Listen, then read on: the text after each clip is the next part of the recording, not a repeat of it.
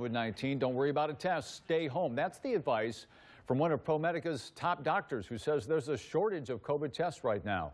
13 ABC's Tony Geftos explained.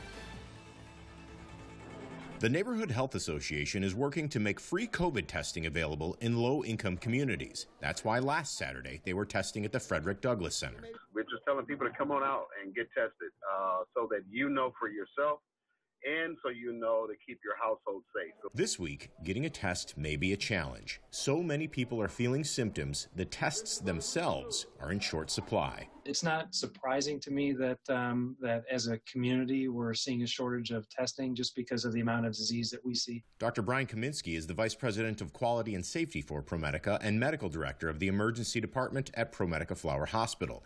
He says right now, if you have symptoms of COVID, such as fever, cough, chills, muscle and body aches, loss of taste and smell, and any gastrointestinal distress, you should take preventative measures and self quarantine. If uh, any one or more of those symptoms are a part of what you're experiencing, just based on what we're seeing in the community, your chances of actually having it are fairly high right now.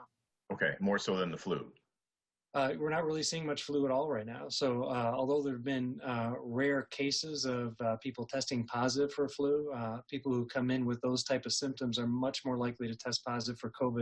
Dr. Kaminski adds if you have active symptoms, don't worry about a test because they're hard to come by. However, if it would give you peace of mind, this Saturday, the Neighborhood Health Association will have at least 100 tests available at the Greater Grace Christian Church on Monroe Street. There's no pre registration required, and the test is free.